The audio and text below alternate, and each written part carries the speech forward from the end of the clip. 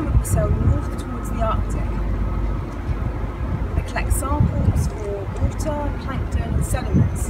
Um, and the aim of this project is to understand how climate change in the Arctic is going to impact the food web up there. Going to focus to start with on the basic food chain, phytoplankton, ultimately um, understanding what happens to the seals